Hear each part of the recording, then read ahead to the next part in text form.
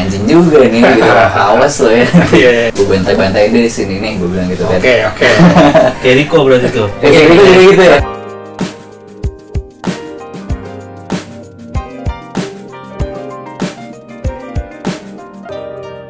Di saat tahun 2009 kita punya majalah, ini Benedoci ini selalu di request nih. Piwi Gaski. Yo, Jadi kita dulu majalah, lu tau nggak? tahu tahu tahu banget tahu banget Nah, yang megang divisi musik kayak si Unbound Kill, Speed Kill, sama Unbound. Alpha.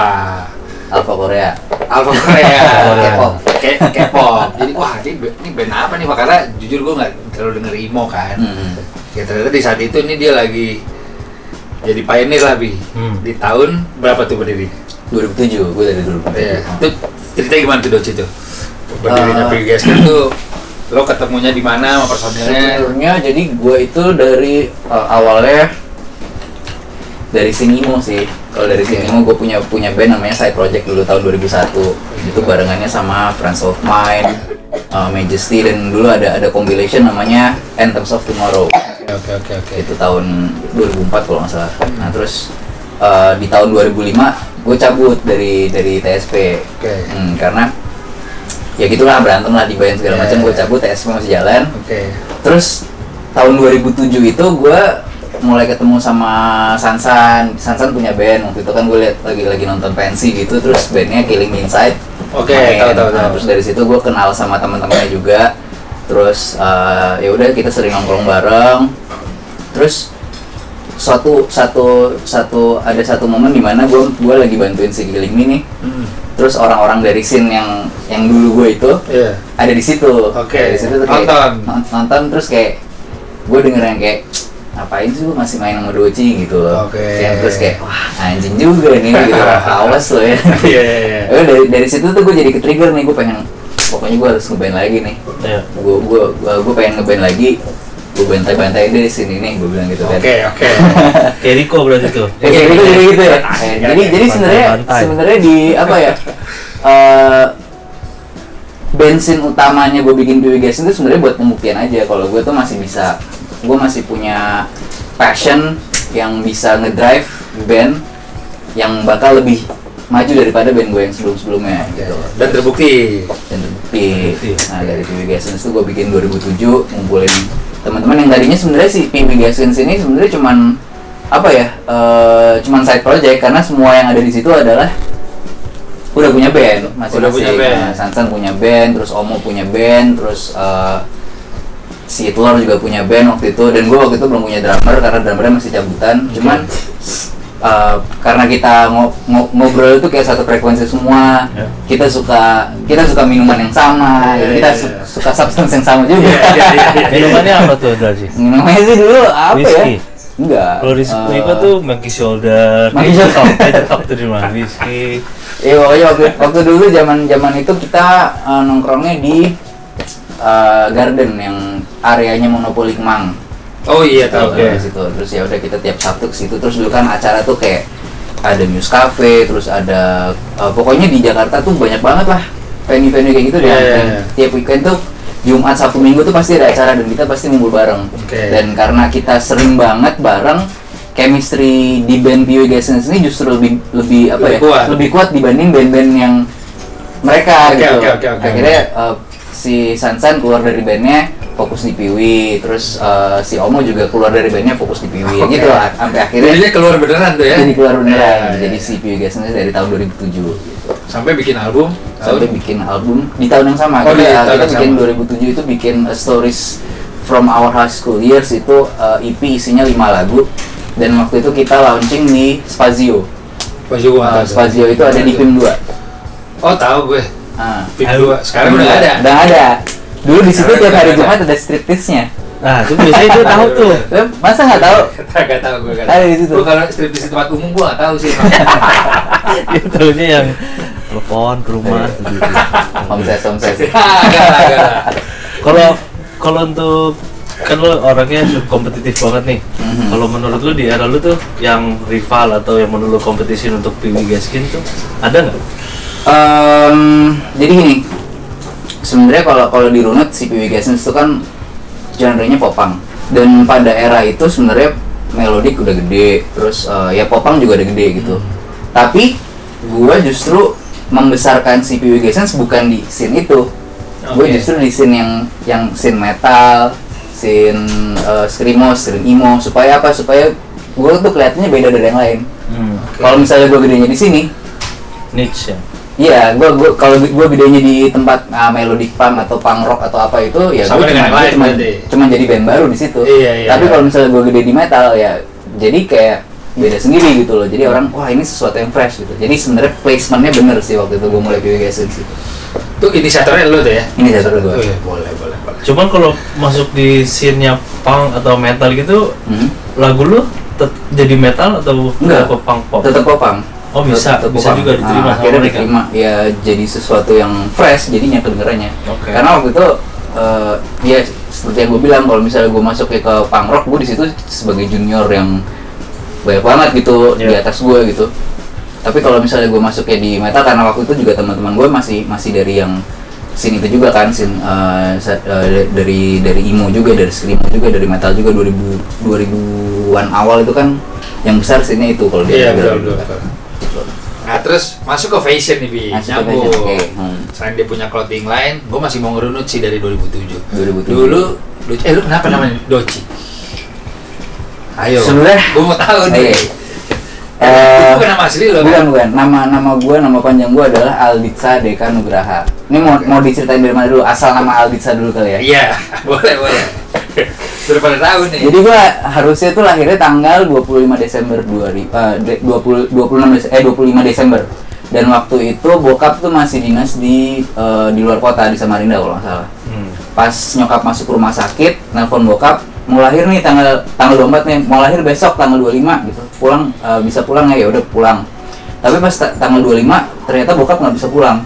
Dan tanggal 25 itu gua nggak jadi lahir jadi Oke. nyokap pulang dulu pulang Oke. pulang pulang ke rumah dan akhirnya besoknya pas tanggal 26 baru Baru. balik lagi ke rumah sakit nyokap eh apa nyokap nyokap ke rumah sakit bokap balik ke Jogja waktu itu gue di Jogja Eh, nyokap eh, bokap ke Jogja nyamperin pas bokap masuk gue lahir tanggal 26 Desember nah Oh, jadi kalau misalnya gitu ya? pas jadi kalau misalnya gue lahirnya kemarin ya bokap gue nggak hadir Ya, tapi karena gue lahirnya tanggal 26 bokap gue ada di situ jadi Alditsa alhamdulillah dia tiba sekarang Oh, gitu. Tiba sekarang. terus Berarti ya kalau di kota Lat kita bisa gitu tuh Alditsa nih. Ini sekarang banget. Terus eh iya dari Alditsa Deka Nugraha itu disingkat jadi Sadega. Sadega. Oke, that's why nama belakang. Iya, jadi Sadega. Doci itu sebenarnya sih eh, moniker dari SMP. Oke, apa tuh? Jadi- Filosofinya.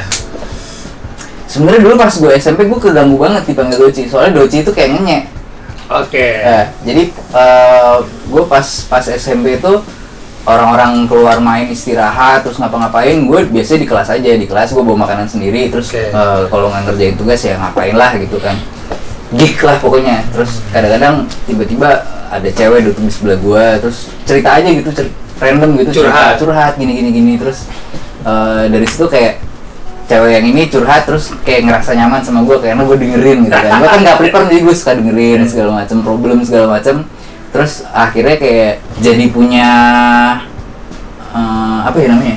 Punya image ya punya sebagai image yang orang yang suka dicurhat-curhatin gitu. Nah terus salah satu temen gue ya itu bilangnya gue jadinya dokter cinta Oh, Doci, dokter cinta. dan gue sebel banget sebenarnya dipanggil Doci itu dulu sebel banget soalnya kalau kalau ngomong Doci itu kayaknya ngatain gue Iya, kayak iya, gue nggak iya. mau punya image kayak gini Iya, gitu. iya. terus sampai akhirnya udah itu SMP eh, pas kuliah gue kuliah di Paramadina gue ketemu sama teman SMP gue yang dari jauh ngeliat gue terus manggil Doci gitu jadi Dong, otomatis nengok dong.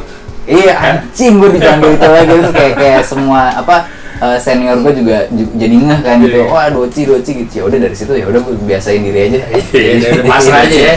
Pasrah aja ya. Doci, gitu. Dokter cinta, Bi. Jadi kita kalau mau curhat, lebih Boleh, boleh, boleh. telepon dia. Itu masih berlaku nggak sampai sekarang? masih Jadi masih teman-teman cewek lu masih Masih, Oke, masih. Tapi harus cewek bikinnya. Cowok Cowok, nggak dengerin mau.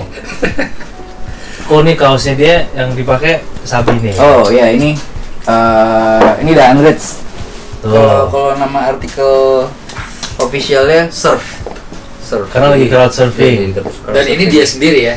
Jadi ini Wah, dia Doci sendiri. Ini- bagi crowd Eh, surfing. gue pakai baju The Hundreds. Ini lagi main di eh, Solo. Kalau nggak Solo di Jogja. Terus yang foto ini Aska Tobing waktu itu. Oke. Jadi Terus- gue gue gue lebih iri sama orang-orang yang kelihatan mukanya sih. Soalnya Iya, lu muka, ya? muka gue ketutup sama jari tengah gue. Terus ini si Bobby Hundreds yang lihat. Bobby Hundreds. Jadi waktu itu gue posting eh, di Instagram. Terus Nge-tag dia nge-tag juga. Bobby Hundreds sama nge-tag The Hundreds. Oke. Terus dia bilang eh, dia komen di situ, wow, this is cool gitu. Terus dia nge DM langsung, nge DM, gue boleh minta ininya nggak, virusnya nggak, IRS-nya gitu. Oh boleh boleh boleh. Terus eh, dia ngasih emailnya, terus dia bilang oke nanti eh, bakal ada orang dari Hundreds yang ngontak gue. Oke. Terus ya udah, eh, terus ya kita deal dealan dia ngasih berapa, terus eh, apa yang apa yang bisa Hundreds kasih buat Piwi juga. Eh, jadi dia credits di situ, terus dia ngasih beberapa produk juga, terus dia ngasih uang juga. Tapi eh, untuk uangnya, uangnya gue kasih ke fotografernya, Iya, Nah, betul. karena kan haknya dia kan. Betul ya. Terus eh, dari dari piwinya kita dapat expo- exposure dari Hundreds waktu itu, terus kita dapat produk juga dari dia, terus selama beberapa bulan kita dapat seeding dari Hundreds juga. Wih, banget. Hmm. Tapi di kaos ini ada tulisan PW guys ini ya? Nggak ada, nggak ada. Nggak ada, Jadi khusus dia nggak ada, nggak ada kredit di kaos juga. Cukup hanya di long sleeve ini apa mereka Ah, dia beberapa bikin artikel? dia bikin short sleeve itu ada hitam, eh, misty gray, merah sama putih kalau nggak salah. habis semua tuh. Habis semua. sekarang Habis semua. Ya, tapi Itu belum capture ada- chatnya masih ada ada. tapi lu lihat tuh capture chat. Ya betul cek masih ada. Iya. Nanti di sini ya nih. Iya, Di sini ada ada gambarnya. Kalau untuk lu pribadi emang sebelum di approach sama The Hundred sebelumnya emang udah follow dan suka brand Oh itu? suka banget soalnya em, menurut gue Hundreds itu eh, sangat sangat berpengaruh di culture-nya ya. Terus Iya. dia kan dia blognya juga gede banget. Ya. Dia blognya itu bisa bisa relate ke mana-mana dan tiap kali dia rilis satu artikel tuh ceritanya tuh panjang gitu di tiap Iya. artikel tuh punya ceritanya. Nah, dan itu yang eh, yang sampai sekarang tuh gue pegang teguh di brand gue juga gue pengen setiap artikel yang gue keluarin tuh ada narasinya di baliknya Iya. gitu sampai gue pikirin uh, logonya uh, logonya Sunday terus logo logo fontnya Sunday itu semuanya ada ada cerita di belakangnya gitu Hmm. jadi gue pengen brand gue tuh bertanggung jawab secara uh, intelektualnya gitu. Asik. dari gue terinspirasi dari si Bobby Oke. Kalau ngomongin brand nih kok, Sunday Sunday. Yes. Setiap kali kita di Jaklot, jadi- ini salah satu paling rame nih kok boothnya. Gue ikut Jaklot tuh kita urban sekitar tiga setengah tahun lalu sih kalau nggak salah. Hmm. Baru Masih di kita. Parkir Timur. Nah, betul nggak jauh dari gue tuh. Kiri, kita pemain baru yang beneran. Gue kita selalu ketemu ya Iya. wah ada Ruben lagi ada Ruben lagi kira kita kenal pas, juga pas pas pertama ya Melvin belum kerja Melvin lagi di situ. Ya, di situ. Melvin dulu di gua Iya. Terus wah ini Bi kok Adriannya gila-gila. Gue udah kenal kebot kan ngotak. Mhm. Oh sanding berat Adriannya gila, sanding sanding gila. Waduh, gue jadi Adrian nih polanya gimana nih dia bisa nge-build brand yang jadi primadona di fan bazar kayak gitu karena nggak semua pemain lama gue lihat di antriannya cukup panjang segala Hmm. macem lalu punya teori khusus nggak lo dalam lo nge-build brand tuh mungkin kalau gua kalau gua pribadi sih karena gua menjaga si eh, intelektual dari brand ini gue Iya. pengen gue pengen customer gue juga tahu bahwa eh, Sandi Sandi itu bukan cuman ngeluarin logo yang dijual gitu atau Oke. apa pun yang labelnya Sandi Sandi eh, itu yang dicari tapi Hmm. kita kita pengen tuh setiap desainnya tuh emang emang jadi narasi kita untuk apa ya eh, respon apa yang ada di sini ada ada di pasar gitu dan dan sejak dulu itu kita nggak nggak pernah masuk jacklot eh, mem- mempergunakan jacklot untuk eh, jualan barang yang didiskon habis-habisan kalau lu nggak setuju konsep itu setuju, tuh nggak setuju. Eh, justru ini yang lucu ya. Jadi Sunday-Sunday pas tahun lalu eh kita pengen bikin satu line yang khusus jacklot. Jadi kita nggak nggak ada diskonnya. Cuman kita bikin bikin satu yang eh apa ya, yang harganya di bawah daripada yang gue jual biasanya. Gue gue bisa jual kan 185. Cuman gue bikin satu satu satu koleksi di jacklot di mana harganya 145.000 ribu. oke Nggak laku men. oh gitu ya oh ini lucu Kenapa tuh? Mbak, laku laku mungkin eh, tetap tetap laku Tapi cuman pelan. customer gue yang lama justru nggak nggak ngeliat itu begitu begitu dikasih tahu oh ini yang eh, apa yang yang edisi special jacklot harganya harganya 145 langsung pindah rak maunya yang yang maunya yang 185. um, um, ini mungkin satu yang nggak sadar.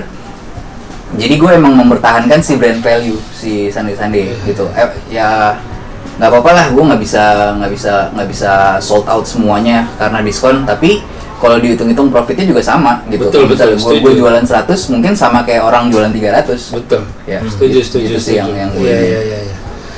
dan nggak semua brand sih kalau gue lihat di, di Jacklot yang bi- bisa ngejaga harganya tetap Iya. tinggi tapi kualitas juga oke. Banyak yang banting.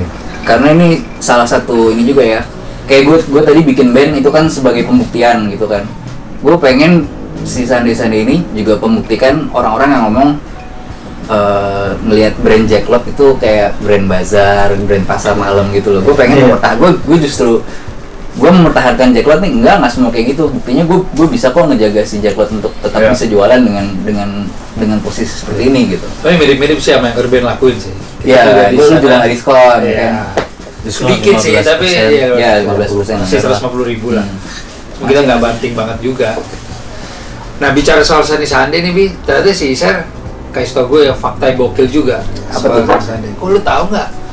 Kan basket nih gitu deh Sandi Oh, pernah iya. di, pernah dipakai pemain NBA Kenneth Farid wah gue bilang lu yang bener lu akhirnya gue ngobrol lihat, fotonya. akhirnya gue ngobrol bertiga nih sama dia di caklat kemarin coba lu ceritain dulu lumayan bikin gue anjing Hmm. Oke, gue juga kaget sih waktu itu. Waktu waktu gue denger eh, nama Kenneth Farid, jujur gue sebenarnya sebelumnya belum tahu juga Kenneth. Farid waktu itu.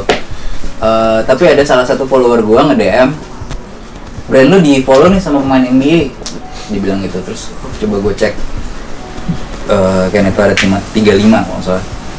Bener dia follow, follow Sandi Sandi. Terus iseng gue DM. gue pertama DM pakai pakai akun gue nggak dibalas Iya. karena dia nggak follow gue kan gue Iya. gue balas eh, gue gue DM pakai Sandi Sandi terus eh gue lupa DM apa cuma masih ada nggak ya bener tuh bukti-bukti begitu jangan hilangkan tuh akan jadi sejarah tuh oh masih ada nih nih Assalamualaikum brother cheers from Indonesia we will be more than honored if you receive a package from us let us let us know if you're interested Waalaikumsalam Alhamdulillah yes I'm interested and inshallah you can send it to alamat video Sekali. Muslim dia bisa Muslim, uh, Iya. if possible, with my name on it. Syukran, this is truly a blessing from Allah. Katanya. Iya, boleh, boleh, boleh. Dan akhirnya ada ada memang lo kirim hoodie. Gue kirim, gue Terus kirim. size-nya apa tuh dia? Eh, dia gue nanya, X. XL apa XXL? Dia Apanya? bilang. Padahal tiga. Kalau dia bilang kalau misalnya cutnya gede XL aja, cuman kalau kecil XXL. Terus akhirnya gue gue kirim waktu itu XL. Cukup tuh ya. Cukup. Dia berapa sih, ngetit, tinggi? ngetit sih. Tingginya dia Six berapa tuh? 6'8, 6'9 Buset. gimbal Oh, lagi. triple XL. Tuh gede banget sampai badannya. Cantik. Terus dia kirim, dia kirim kirim video nih pas eh, pas udah udah nyampe. Ah, ah, dia bilang looks good on you, my brother. Gue bilang asking permission to post the video. Terus bilang I'll make something better. Terus eh, dikirim yang foto yang gua Oh, upload iya. Wih. Iya. gitu.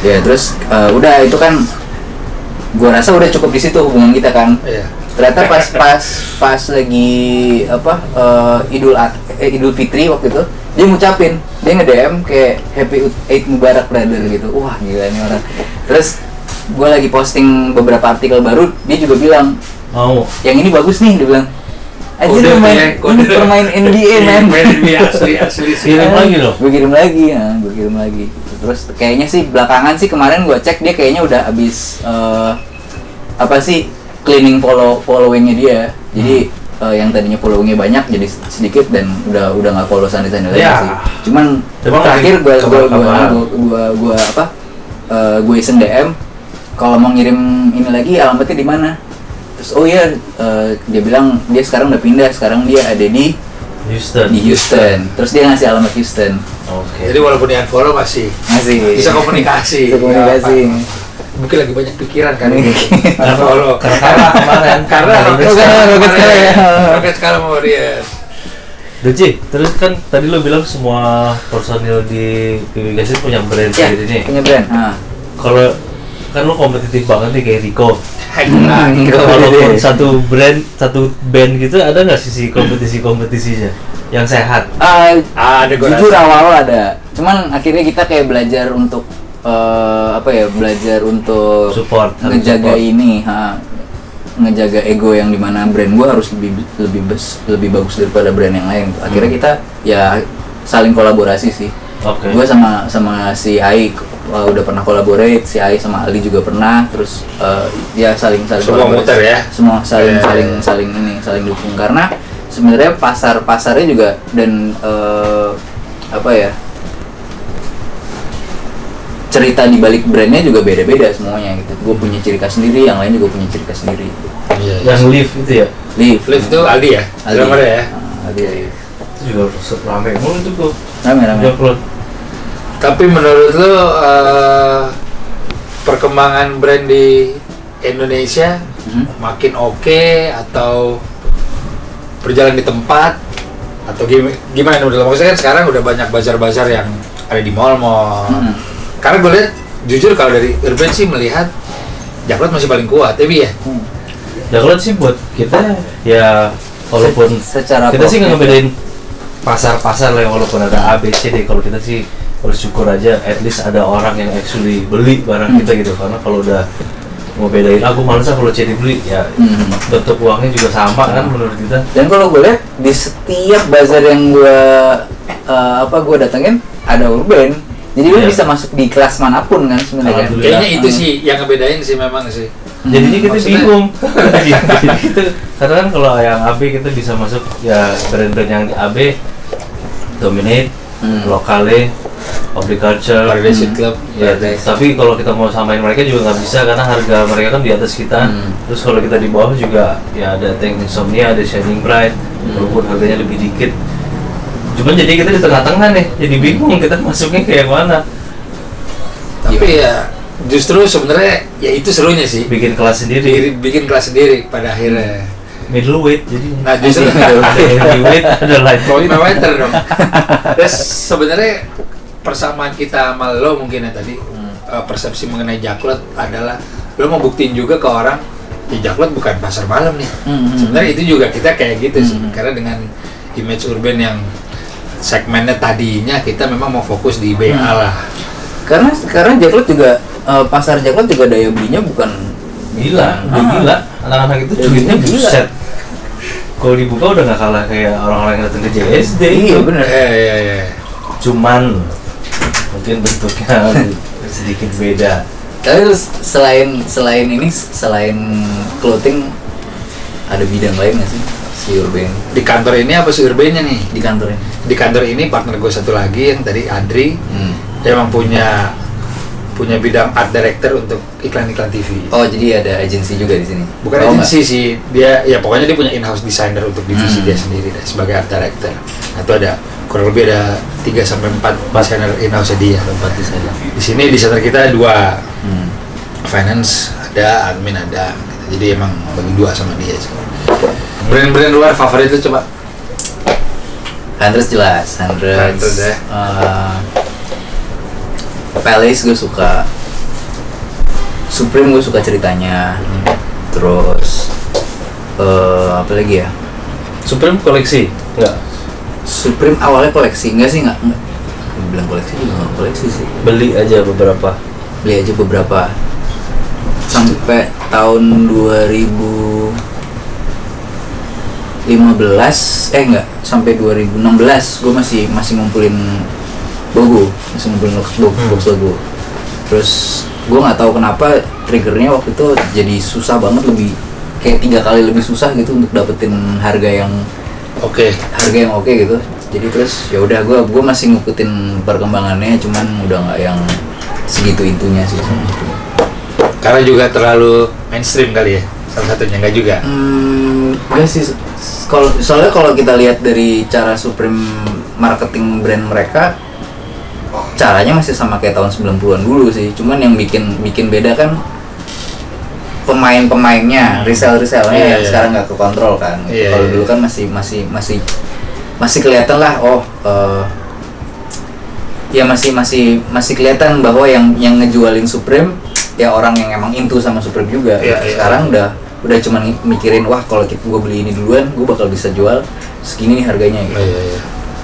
Untuk Lebih tinggi, lebih tinggi dari dulu. Dan kalau dulu tuh lebih apa ya lebih lebih barang yang didapetin resell itu yang emang udah udah kepake duluan gitu. Kalau sekarang emang bener-beneran orang tuh Baru, ya? ma- baru. Masih ada labelnya masih ada Iya. diplastikin uh, masih ada struknya. Jadi emang orang niat untuk ngejual lagi aja gitu. Bukan Iya. yang emang suka terus dijual lagi gitu karena karena apa uh, market price-nya masih bagus gitu.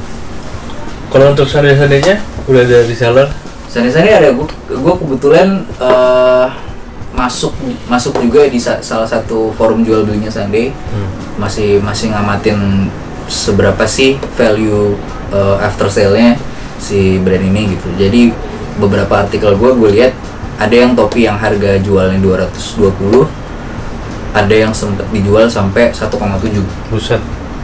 itu yang paling tinggi sih yang- yang gua gua, gua lihat dan laku dan dan beli itu ya? Beli, ya. Iya iya iya. iya. mungkin orangnya juga tadinya iseng doang terus akhirnya ada yang beli cuman di, dinego jadi 15 gitu Oke. Masih ya Kita sih belum pak. Bikin kayak gitu tuh ya ada. Limited. Iya. Ya, Akan yang nggak? bim bim, cuman nggak tahu nih Iya kalau sih. di resell lagi apa Bisa enggak. juga tuh kalau kita Iya. pakai konsep itu. Lumayan. Kalau dari sandi sandinya So- ada movement apa lagi nih? kalau? Sandi jadi kalau Sandi itu di, uh, ada dua dua jenis artikel yang satu artikel forever kayak forever uh, namanya forever code logo itu logo bukan code logo Iya. namanya Iya. forever code logo kenapa ada forever karena itu akan di repeat terus Hmm. Forever Niji logo itu uh, yang yang logonya warna-warni itu akan di repeat terus. Oke. Jadi kalau misalnya ada Forevernya orang udah tahu ini bukan bukan artikel dead stock. Pasti pasti ada lagi ada lagi ada lagi. Kayak versus kita berarti. Ya, Ya. itu berarti resale-nya juga nggak akan jauh dari harga aslinya. Ya. Tapi kalau misalnya yang yang lainnya begitu udah uh, out of stock, gua nggak akan restock. Yang Jadi limited. Jadi emang emang semua semua artikelnya gue buat seperti itu daripada gue bikin ah, yang restock lagi yang selain yang forever tadi gue akan bikin artikel baru yang nggak nggak Oke. ini jadi jadi itu akan ngejaga value dari yang udah pernah gue gue rilis sebelumnya Dan berhasil tuh. dan berhasil Pola itu. Nah, kalau misalnya Jordan kan ada retro Iya. jadi keluarin lagi Iya kayak gitu Iya iya iya. iya. Dan biasanya itu lebih mahal harganya ya. ya biasanya yang yang iconic jadi gue punya ada beberapa karakter yang misalnya gue rilisnya tahun 2007 nih terus udah lama nggak dirilis lagi pas gue lagi anniversary gue retro tuh gue keluarin lagi tapi dalam bentuk yang beda gitu Oke oke oke oke. Kalau kalau dari meaning sandi-sandinya sendiri itu namanya dari mana? Terus kenapa Oke. Oh, logonya betul. logonya cone? logonya kon jadi jadi pertama eh, pertama kali si Sandi Sandi ini adalah oh ini flashback juga karena hubungannya sama si band Oke. kenapa kenapa PW Gasens akhirnya bisa kerja sama sama beberapa brand waktu itu kita kerja sama sama Volcom kerja sama sama Vans kerja sama sama Macbeth pernah sama Nike juga jadi awalnya adalah eh, gua gua ke Maisius waktu itu radio Oke. dalam terus ngeliat di situ ada Vans Iya. Offense gue lihat wah ini ini bagus nih ini brand Australia terus kayak gue ngeliat bahannya bagus gambarnya juga bagus tapi harganya 350 ribu for Iya. t-shirt gue bilang Iya. anjing juga ya gitu deh terus gue ngeliat di eh di mana? Di hangtagnya Hmm. ada email ya. Malam itu gue pulang gue email. Hai eh gue gue Doci dari PW Gaskins bla dan waktu itu ada MySpace. Nah MySpace itu kan pada saat itu juga udah ada analyticsnya ya.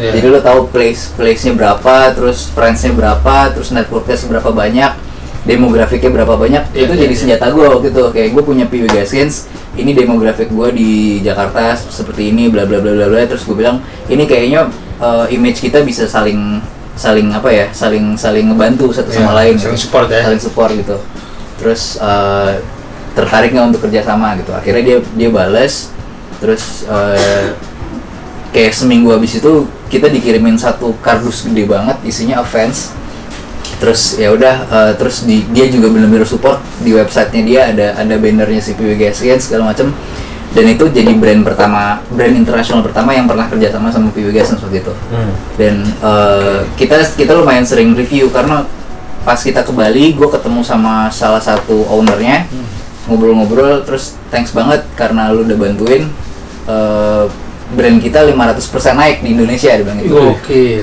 terus uh, Oke. dari situ dari situ gue jadi mikir brand internasional aja gue bantuin bisa dapat profit dan gue gue cuma dapat baju gratis gitu gue nggak Iya. dapat nggak dapat profit dari itu selain selain baju gratis Iya dan ini iya.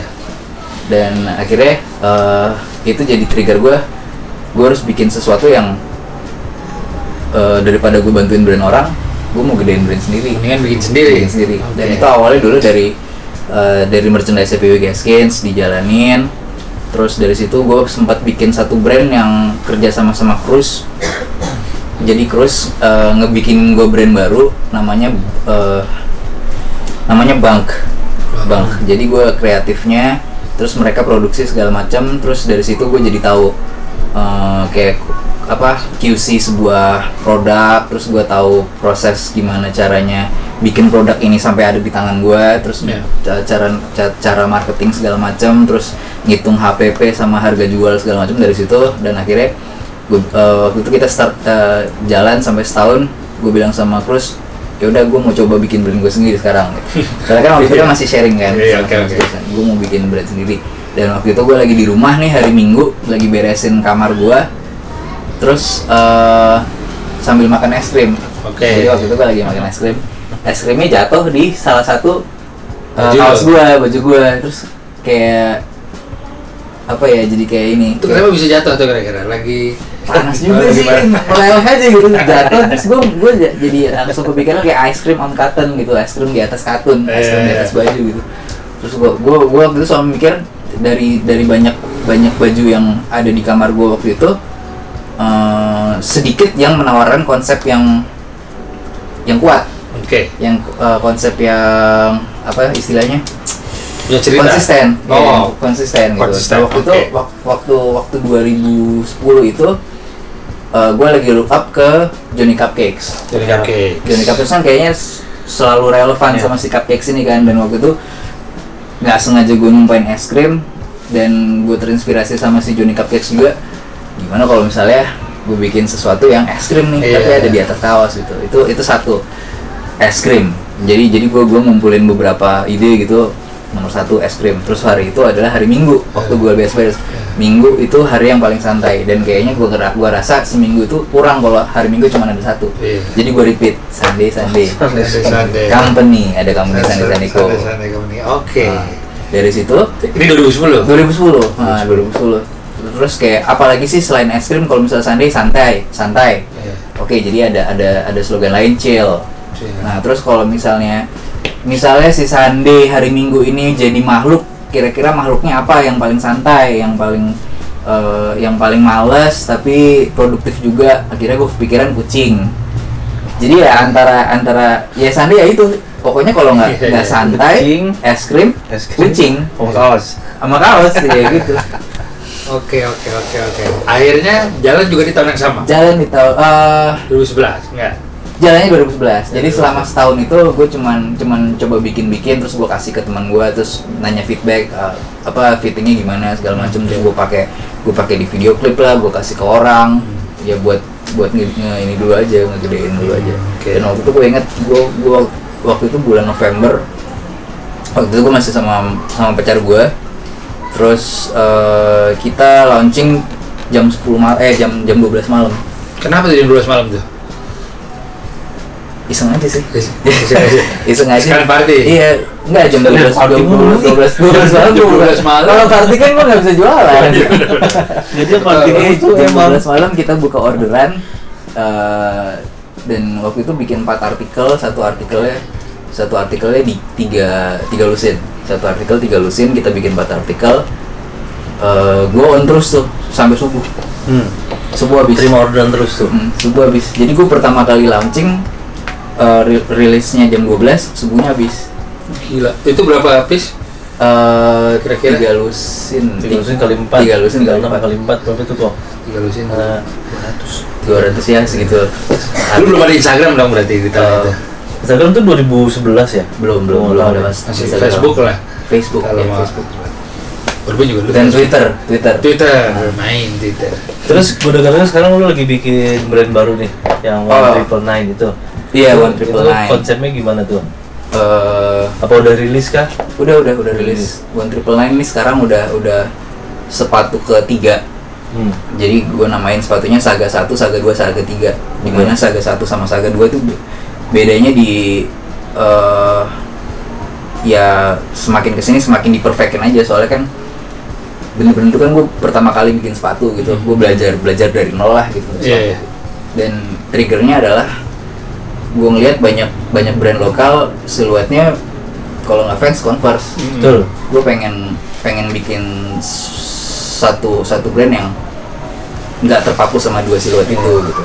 Dan ya udah jadi prosesnya belajar belajar belajar belajar aja. Akhirnya dapet tuh. akhirnya dapat jadi kalau gue perhatiin eh, kenapa bentuknya seperti fans satu converse? Karena rata-rata produk produksinya produksiannya itu dibikin di pabrikan yang biasa bikin KW Oke. Dewan jadi materialnya ya? udah ada eh, materialnya Oke. udah pasti udah pakai pakai waffle bawahnya udah pakai soalnya waffle terus pakai vulcanize hmm. terus eh, ya udah akhirnya gue pertahanin ya udah vulcanize nggak apa-apa terus tapi waffle-nya bisa nggak gue nggak pakai eh outsole-nya bisa nggak nggak pakai si waffle karena waffle kan fans banget kan Yep. terus gue dapet si eh, ada satu pabrikan yang punya banyak slot eh, punya banyak stok bawahannya Blazer Nike Blazer Oh, Nike Iya, Blazer. Nike Blazer. Iya, tapi iya. Nike Blazer sama Nike GTS sama Adidas Superstar itu bawahnya sama nggak Oke. ada nggak ada logo nggak ada logo lain ya udah gue pakai itu cuman warnanya gue bedain sama atasnya tinggal bikin pola baru aja yang kira-kira bentuk shape-nya seperti yang kayak sekarang tapi atasnya bisa bisa gue aneh-anehin Gitu deh. jadi si ada si one triple nine ini Gila. itu juga bisa dibeli Berapa? di kantor-kantornya Sande Sande atau Enggak beda, itu itu beda yang lagi uh, terpisah sih kalau si si One Triple Nine sendiri sekarang masih di rumah gue sih oke Jadi masih online. masih, masih online hmm. Berapa tuh range harganya? range harganya gue sekarang matoknya lumayan jadi uh, kalau yang bahannya Corduro itu 420 kalau yang kanvas 430 yang sweat 4 499 450 kalau nggak salah Oke di bawah 500 lah ya. 500. karena gue pengen ngumpulin modal untuk bikin sole sendiri Oke. Kalau kalau soal kan bikinnya kan per size kan cetakannya itu. Hmm. Cetakannya bisa bisa ngabis ya lumayan lah dan gue harus bikin 7 7 size. Jadi Ya. modalnya lumayan. dari 39 ke 40 Eh, yang sekarang dari 39 sampai 44 tapi gue mau bikin dari 36 sampai 47. Betul. Betul emang banyak 47 yang kekurangan tuh yang 44 aja gue susah nyari yang 44. Hmm. Masih 43 ya. 9. Dan kalau yang gue pelajarin dari sepatu ya kebanyakan orang kan mikir golden size itu 4142. Hmm. Justru itu yang paling paling slow jualannya. oh gitu karena itu ukuran yang paling aman untuk sepatu jadi kayak orang yang punya size 4142 biasanya dia lebih banyak pilihan untuk beli sepatu kan Ya. jadi kayak spending buat sepatu baru tuh jadi lebih lebih sedikit daripada yang wah ini ada 43 nih gue beli sekarang Iya. gitu Oke, oke, Biasanya. benar benar benar benar. itu 4 43 Daripada habis gitu ya. 43 44 tuh gue justru lebih lebih cepet jualan terus kalau sekarang nih Doci lagi sibuk apa aja nih uh, aktivitasnya Eh, Apakah ke mall sama anak main apa masih party party anak sih ini banget sih sekarang udah hmm, Udah besar. 80% waktu gue ya ke anak sekarang. Cuman kalau sekarang aktivitas Piwi Gasens lagi mau ngeluarin album baru. Hmm. kira-kira bulan bulan Juli lah keluar album baru. Oke. Oh, bentar lagi dong. bentar lagi. Kalau untuk kalau untuk Sande Sandenya apakah ada movement movement yang akan dinantikan oleh kawan-kawan? Bakal collab. Kolaborasi yang jelas cuman eh, masih belum bisa di announce karena masih masih abu-abu juga jadi apa enggaknya. Cuman kita mau kolaborasi sama salah satu merek kolor yang udah lama ada di sini. Rider? Bukan. Di. Iya, shout out buat Urban Oke. terus buat teman-teman yang ada di industri ini buat kalian para consumer juga harus terus eh, harus lapar terus akan ilmu yang baru Harus kalau dari cerita harus punya daya kompetisi ini. harus Iya. lu yang suka kompetisi. Harus juga. harus beli yang asli Harus ya. beli yang asli. import jangan beli yang palsu walaupun lebih murah. Iya. Pikirin kualitas. Hmm. pikirin kita kita juga gitu. Karena kan kita harus menghidupkan keluarga. Harus beli ya, cari aja. ya support terus lah yang movement-movement ini. Apalagi yang punya arti beneran gitu All right. All right.